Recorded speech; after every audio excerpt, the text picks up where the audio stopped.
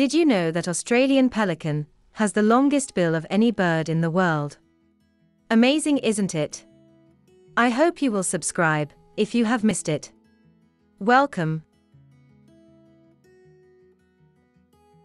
The white-necked laughing thrush, Garrulax strepitans, is a species of bird in the family Leiothrichidae.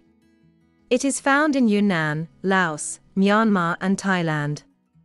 Its natural habitats are subtropical, or tropical moist lowland forests, and subtropical, or tropical moist montane forests. It has a chestnut crown, a brownish black face and throat and a rather diffuse white collar separating these from the body. The general plumage is a pale brownish gray.